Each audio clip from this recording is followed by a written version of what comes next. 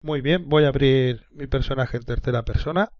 Le vamos a añadir un componente de flecha para indicarle la posición donde queremos que aparezca el cañón. Componente arrow.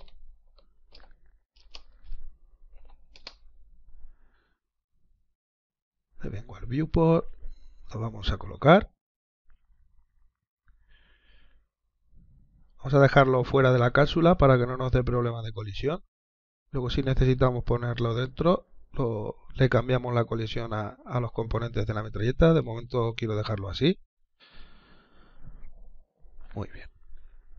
Venimos al event grab y vamos a crear un evento begin play.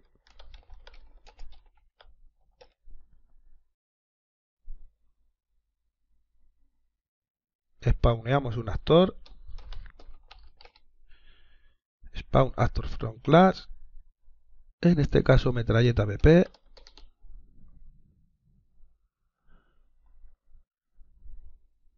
Le tenemos que indicar dónde lo queremos spawnear. Cogemos get word transform. Vamos a hacer un split para separar la estructura le metemos la localización y la rotación y la escala la dejamos para controlarla a nosotros. Lo vamos a convertir en, un, en una variable. Sobre el pin, botón derecho, convertir en una variable. Se va a llamar metralleta. Para cuando la tengamos que referenciar, ya la tenemos a mano. Perdón, tengo que decirle que utilice el personaje en tercera persona. Le doy al play y como veis aparece. Ya tenemos aquí nuestra metralleta. Lo que pasa es que si nos movemos, la metralleta no se viene con nosotros. Y lo que queremos es que nos acompañe. Así es que vamos a utilizar un nodo que se llama Attach Actor to Component o algo similar. Attach Actor to Component el target va a ser nuestra metralleta que queremos pegar a la flecha. Le ponemos el nap to target para que se pegue y el resto que mantenga su rotación y su escala que la mantenga. Vamos a ver si funciona. Le doy al play y esto está funcionando perfectamente. Voy a cambiarle un poquito la escala a 0.5, yo creo que estaría bien.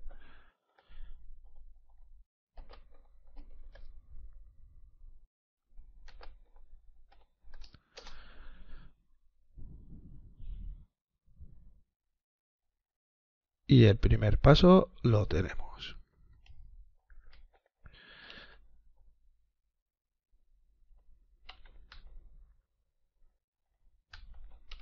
Muy bien, vamos a hacer que cuando estemos manejando la metralleta, nuestro personaje no se pueda mover. Además, lo vamos a manejar con los mismos inputs que tiene para moverse hacia adelante y para moverse hacia la derecha. El primer evento que hemos configurado nuestra metalleta de rotador Z lo vamos a manipular con el, con el input de movernos hacia adelante. Vamos a crear una nueva variable de tipo booleana para ver si estamos en el modo disparo o modo metralleta, como queráis. Modo metralleta. Los tengo. Hago un branch Y si está en el modo metralleta va a hacer una cosa y si no se va a mover de forma normal, como siempre. Y abajo lo vamos a poner igual para bloquear ya el movimiento. Esto me lo llevo por aquí mejor. Que no. no se estorbe. Esto al false. Y para cambiar al modo vamos a utilizar la tecla 3, por ejemplo,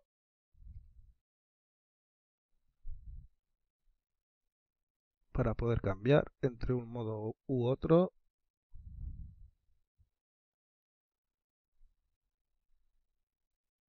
Cuando pulsemos estamos en el modo metralleta y cuando soltemos volvemos al modo normal. Lo podemos hacer también con un flip-flop Vamos a verlo. Más cómodo que tener que estar pulsándolo. Cuando pulsemos la primera vez va a poner la variable en verdadero y cuando pulsemos la segunda vez en falso. Y así sucesivamente. Muy bien. Voy a compilar, vamos a revisar que esté todo correcto. Bien. Ahora arrastro mi referencia a metralleta y vamos a llamar al evento rotar en Z.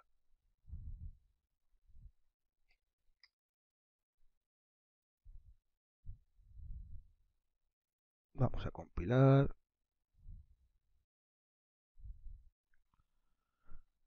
Está todo correcto. Esto también. Pues vamos a ver qué ocurre. Ahora mismo me puedo mover normalmente.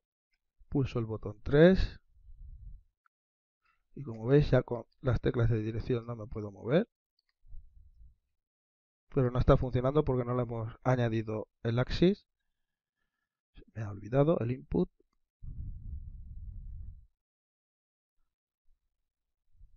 La cámara la sigo pudiendo mover. Pero el personaje, una vez que yo pulse 3, sigo pudiendo mover la cámara, pero el personaje se queda quieto y ahora ya sí funciona el giro. Puedo girar en ambas direcciones, tanto positiva como negativa. Y rotamos toda nuestra torreta. Genial. Vamos con el siguiente evento que sería el giro del tambor. Giraría de esta manera, supuestamente en el eje Y.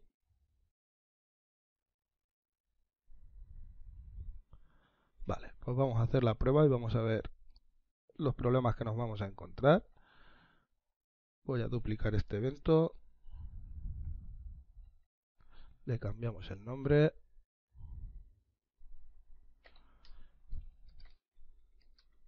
Rotar en I.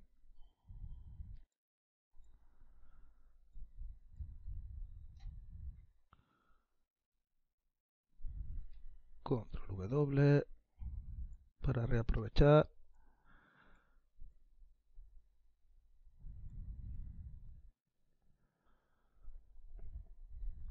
Cogemos el tambor.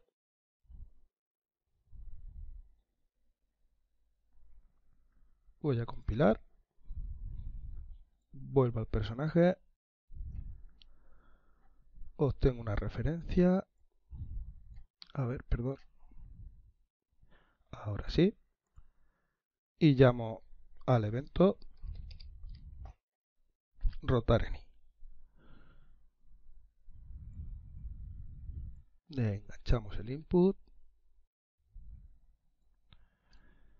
Y vamos a ver lo que ocurre. Voy a pulsar la tecla 3. Está funcionando bien.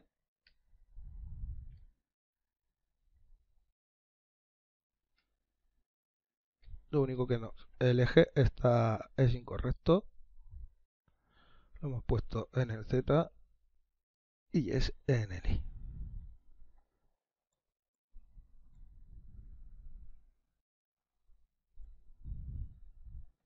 Pulso 3. Ahora ya sí.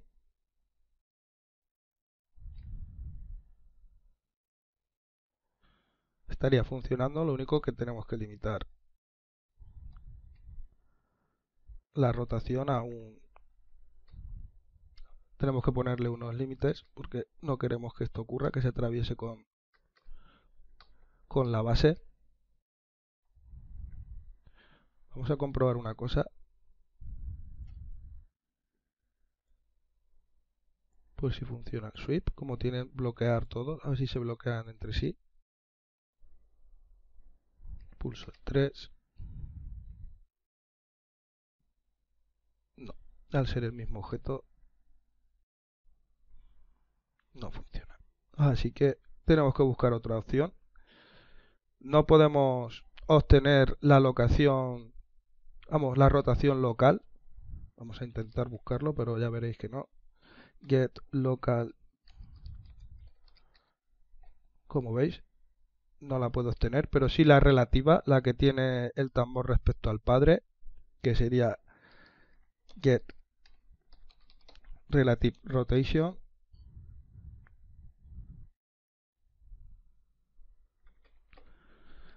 relative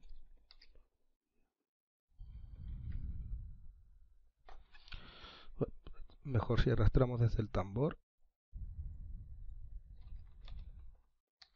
Ahora sí. Get relative rotation. Podemos hacer un split. Ya tenemos las distintas rotaciones. En vez de añadirle rotación local le vamos a añadir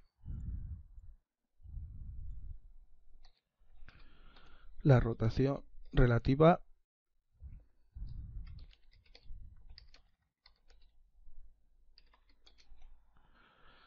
me ha vuelto a pasar lo mismo como no lo he sacado del tambor.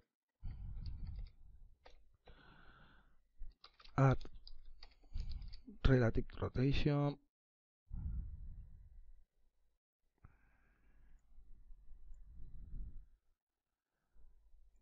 Hacer un split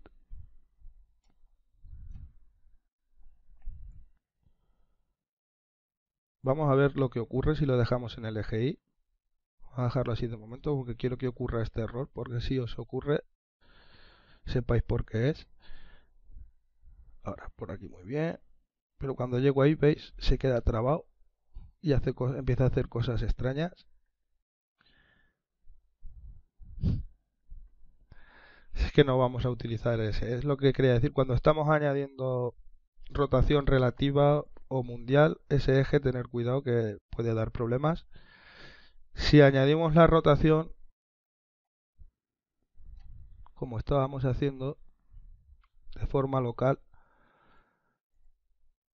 podríamos también probar una cosa, a ver si funciona. Añadir rotación local.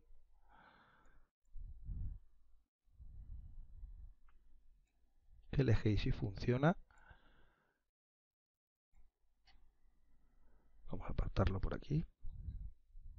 Voy a duplicar el tambor para que esté todo un poquito más organizado. Y voy a setear la locación relativa, la rotación, perdón, relativa.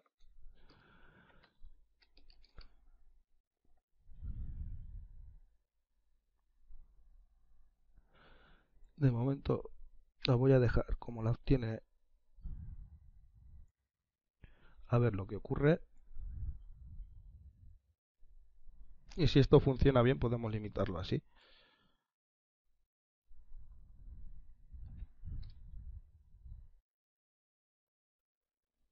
Como veis, la relativa al padre es igual que la local, así es que sí que podemos hacerlo así. Y ahora lo que vamos a hacer es un clamp para que cuando llegue a un máximo, vamos a ver, rotación en I, cuánto de menos 110 a 110.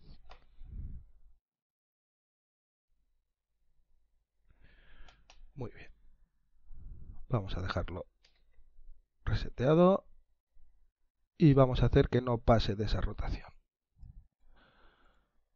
hacemos un split.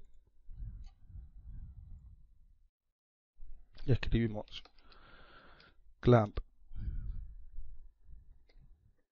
clamp angle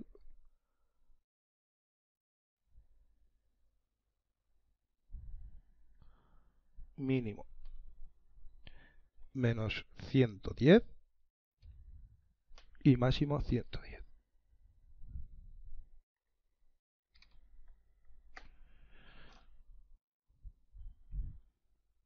hacemos un split.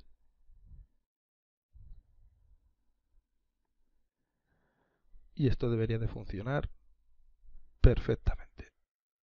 Vamos a probar. Y si no pues lo arreglamos. Pulsamos el 3 el giro está bien. Llega a un máximo. Y nos da el tartamudeo de la misma manera, así que no nos vale. Tenemos que setear la, la esta relativa y no, no nos va a funcionar. De esta manera, así que lo único que vamos a hacer es cambiar el eje que vamos a utilizar. Vamos a utilizar el eje X. Cogemos los adornos, esto va a ser muy sencillo.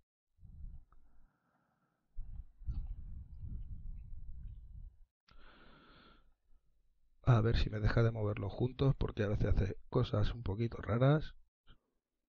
Vamos a tener que moverlos uno a uno. Está cogiendo, yo quiero que coja la mundial, pero como tiene el eje, cada uno su eje en su sitio, vamos a tener que hacer a mano. Rotamos primero 90 grados este, por ejemplo. Me lo llevo para acá, voy a ponerme vista frontal Vista lateral, perdón. Vale. No va mal.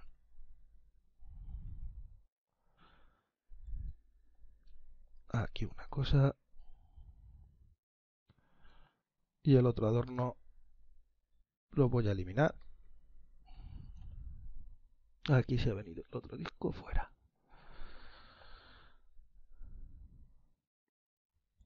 duplico estos dos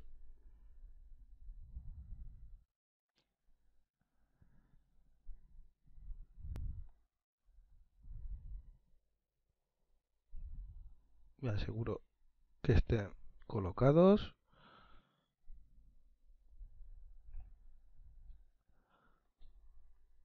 roto 180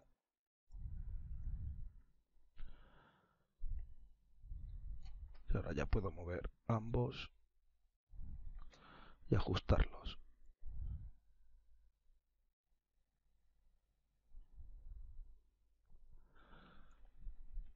No me importa que se atraviesen un poquito. Y ahora ya simplemente lo que tengo que hacer es cambiar el eje al X. Y esta cambiarla a rotación relativa.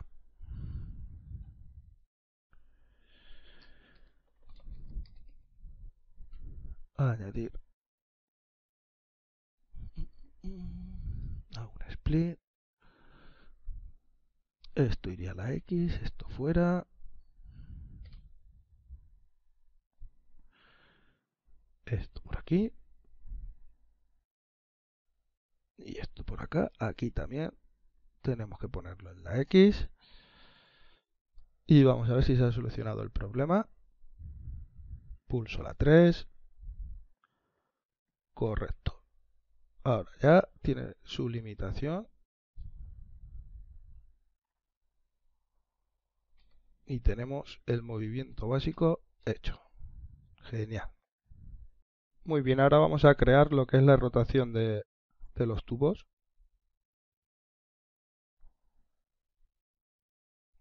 Control Z para setear. Vamos a crear un custom event. Lo vamos a llamar rotación tubos o ya directamente disparar.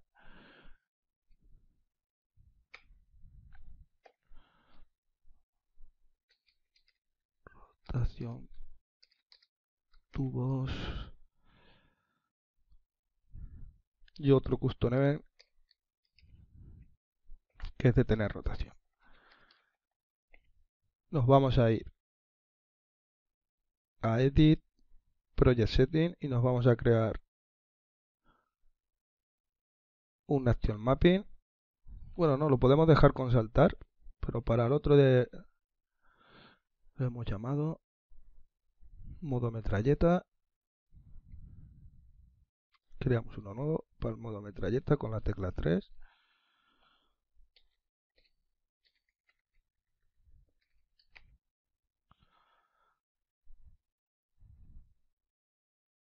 y con el R1 para el Gamepad. Los demás creo que están mapeados para el Gamepad, sí, perfecto. Por aquí ya hemos terminado, ahora vamos a cambiar esto por su evento. modo metralleta. Para el salto vamos a utilizar la barra espaciadora, simplemente tenemos que decirle, igual que hicimos con los otros input, que se ejecuten cuando estén en ese modo. Con control, hago un branch,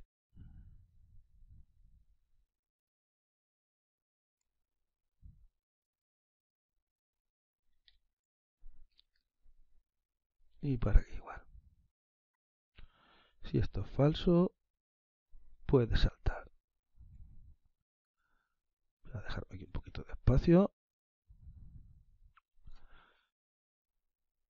Y si es verdadero, llamamos a rotación tubos cuando estemos presionando. Perdón, desde aquí. rotación tubos y detener rotación tubos.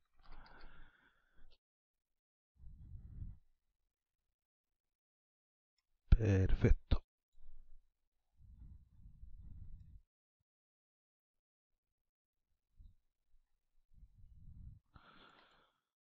Salto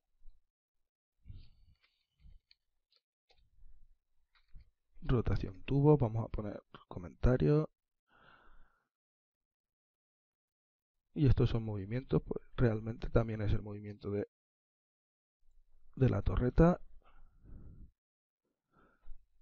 Modo metralleta.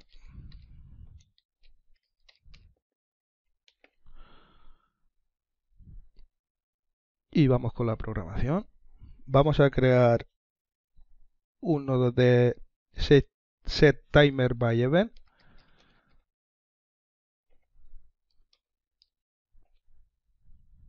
Vamos a crear como una especie de evento tick. Se va a vincular con nuestro evento de rotación de tubos. Va a suceder cada 0.01 segundos va a ser un loop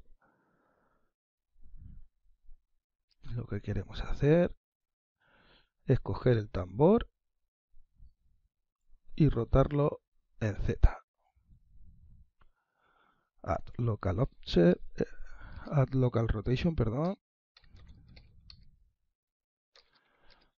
Como siempre, si lo saco desde el actor mejor, desde el componente, perdón.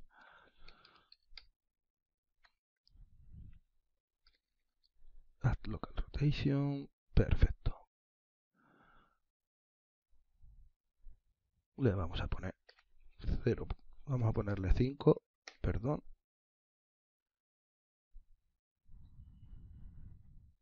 Ahora tenemos que detener este evento cuando pulsamos cuando soltemos el botón. Escribimos clear and invalidate timer by handlet y lo tendríamos. Vamos a probar a ver si funciona o nos hemos dejado algo por el camino. Pulso el 3. Perfecto, tengo el movimiento. Cuando pulso lo que pasa se está bloqueando por algún motivo. No está funcionando bien. Vamos a ver qué ocurre. Muy bien, estamos teniendo un pequeño conflicto con el tambor y las rotaciones. Vamos a añadir una esfera. No se va a ver en el juego, incluso la vamos a hacer más pequeña para que nunca se vea. Y todos los tubos los vamos a acoplar a la esfera. Vengo al grab, cambio el tambor, que es el que está causando el problema cuando empieza a rotar, que se queda como pillado. Elijo la esfera.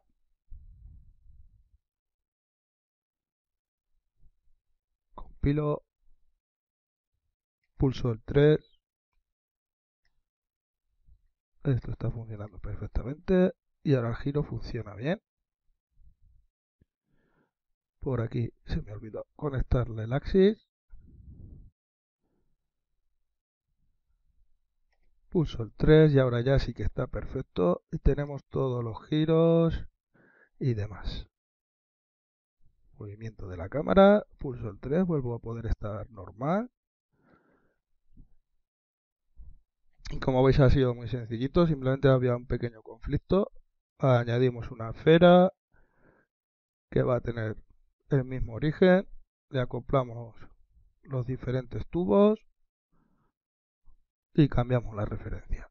Y el código funciona perfectamente. Esto es de unas pruebecillas que está haciendo. Así que vamos a continuar.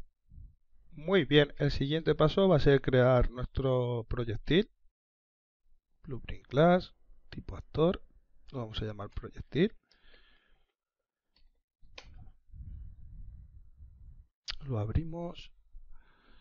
Vamos a añadir una cápsula.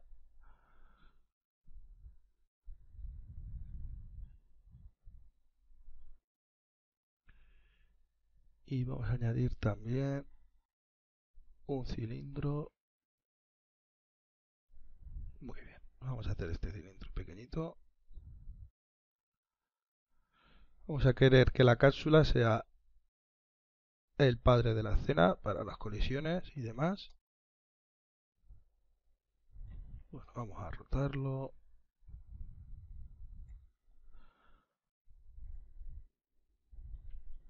Poner 0303 y 06 0.3 0.3 y 0.6 voy a cuadrar un poquito la cápsula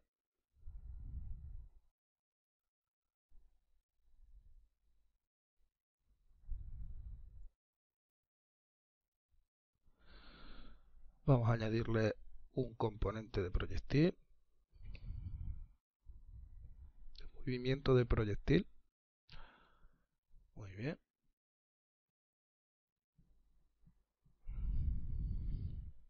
Lo seleccionamos para configurarlo. La velocidad inicial le vamos a poner 3000.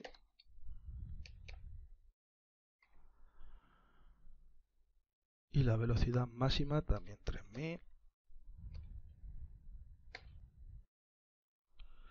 Más cositas que tengamos que cambiar. La gravedad 0.3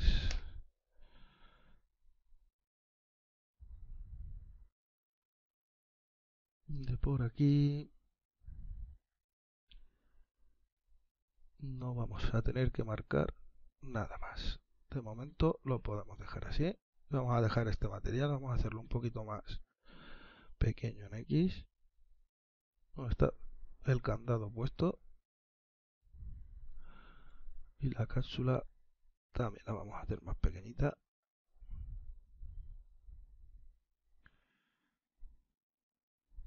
Vale, esto es lo que va a comprobar el impacto. Cuando comience el juego vamos a poner un delay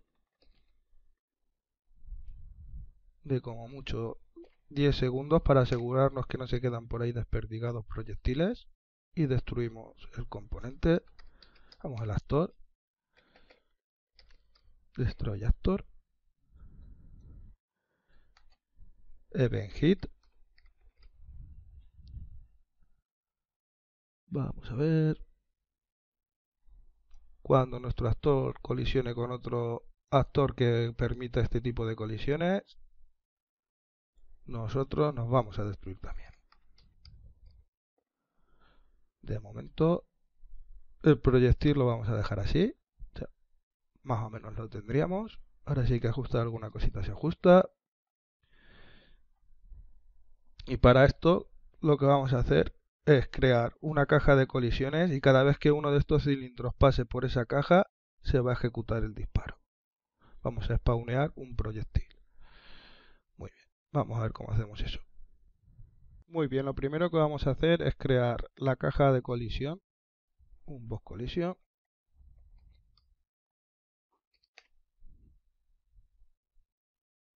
La vamos a hacer hija del tambor.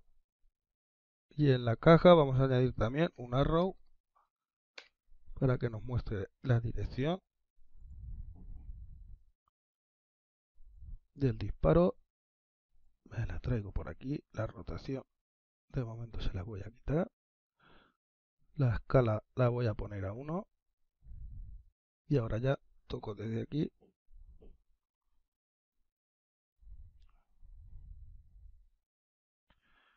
En Z la podemos hacer un poquito mayor si queremos. Vamos a colocarla. Ahora veremos si es el sitio que nos interesa y le tocaremos bien el tamaño. Vamos a hacerlo un poquito más pequeña I. La voy a bajar. Vamos a ver que esté bien colocada en todos los ejes. Perfecto. Vamos a decirle que no, que no sea, que no esté oculta cuando comencemos el juego, que se vea. Ahora voy a coger la flecha. La voy a rotar 90 grados para que mire hacia arriba. y voy a bajarla un poquito más porque va a ser nuestro proyectil va a empezar a nacer desde aquí. Y igual le vamos a decir que no esté oculto en el juego y vamos a comprobar qué tal se ve. Muy bien. Entro en el modo de metralleta perfecto van pasando los distintos cañones el siguiente paso va a ser obtener una referencia de todos los tubos. El 2, el 3, el 4, 5, 6 y 7. Y el tubo también normal. Vale, ya están los 8.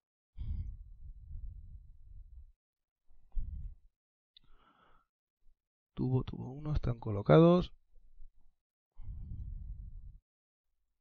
Vamos a crear un evento Begin Play.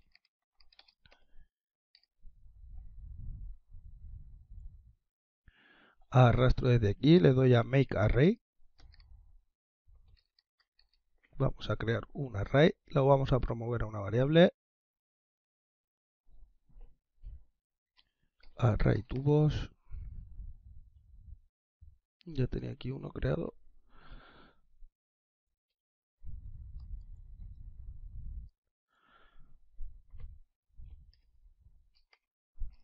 Lo llamamos array tubos lo pongo por aquí.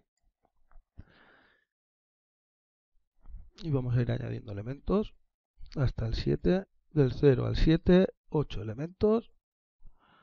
Y ya tenemos referenciados todos nuestros tubos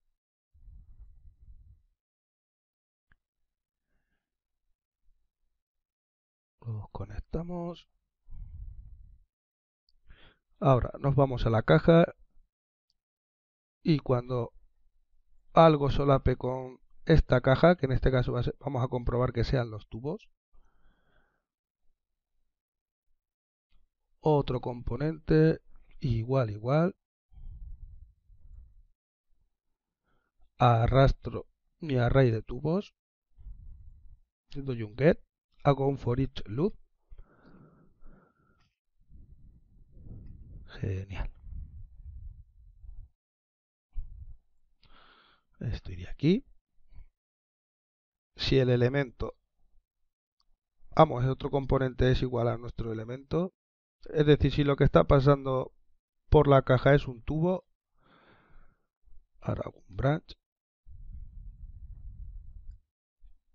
Si esto es verdad, me imprimes por pantalla de momento lo que un hello mismo. Vamos a ver lo que ocurre modo metralleta, empiezo a darle y cada vez que pasa un tubo se va a producir un disparo. Genial. Pues ahora sí que lo tenemos. Vamos a continuar.